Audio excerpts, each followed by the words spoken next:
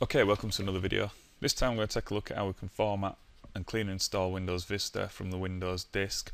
Now this is just going to be a guide and depending on what make and model of computer you're using and who's manufactured that computer, you may have different disks for doing this.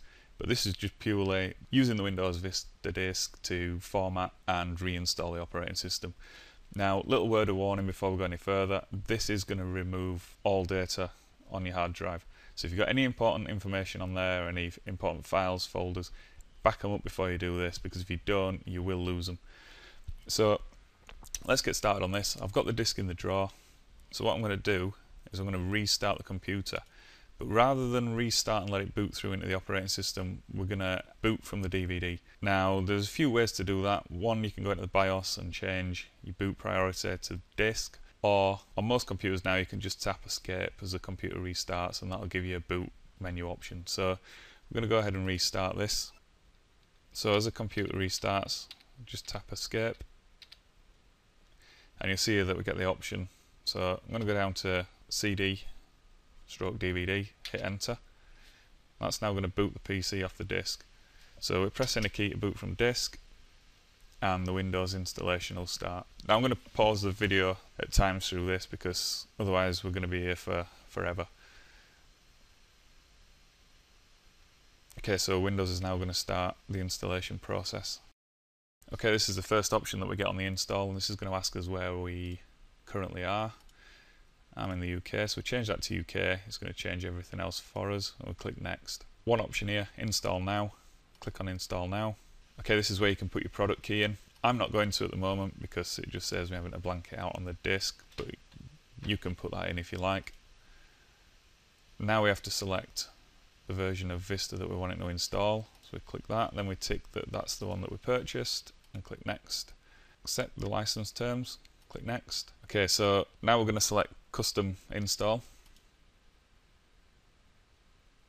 Now this is going to give us the option to install to hard drives that we have in our computer. I only have one and it's showing here as disk 0 and partition 1.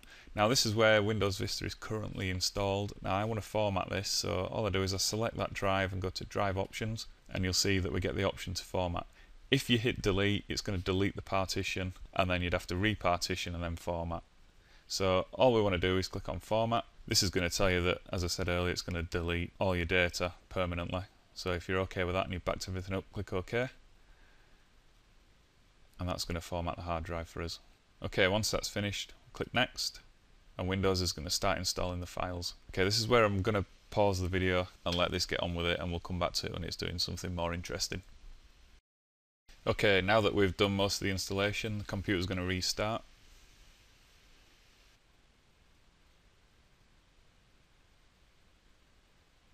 Okay, uh, we're going to get a message now to wait while Windows starts for the first time. Now we're back to just completing the installation. Okay, the computer's going to restart again. It'll do this several times as it says through the installation. Okay, so once the computer's restarted again, it's going to ask for our name and a password. I'm not going to put password in at the moment, and then you can select your use a picture if you like. Then we click on next and we can pick our desktop background and we've been given a computer name so click next. Then we're going to be asked to help protect Windows so use recommended settings and now we need to input our time zone which I'm already set on. Click next. Select the computer's location, it's at home and then we get the thank you and we click start. So now Windows is going to check the computer's performance, check its hardware, see what we're running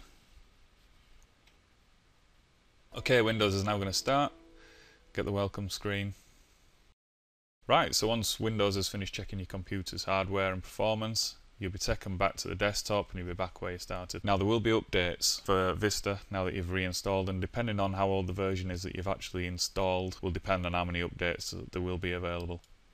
The easiest way to check is we go to Start, go to Control Panel, we'll just maximise that go to System and Maintenance and then go to Windows Update then click on check for updates. Windows will then go online and check for updates. Now this will do this automatically but you may as well get it done while you're in the uh, install mode. That's basically how we install Windows Vista with a format and I'd like to thank you for watching